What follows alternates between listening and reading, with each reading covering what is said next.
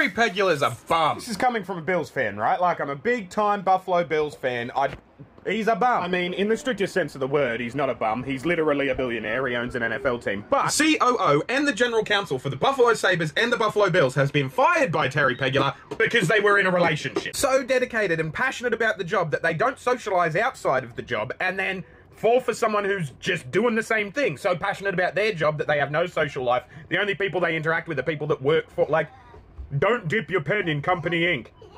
Why not? You want to start a family with like-minded people that are devoted to my cause? Go nuts, right? But like the even worse part, like even if it did make sense, even if I was like, yeah, don't dip your pen in company, like that's how he fucking met his wife. He smothered her in company ink, you know, like he the company ink all in her hair and shit. Like hypocrite, bum.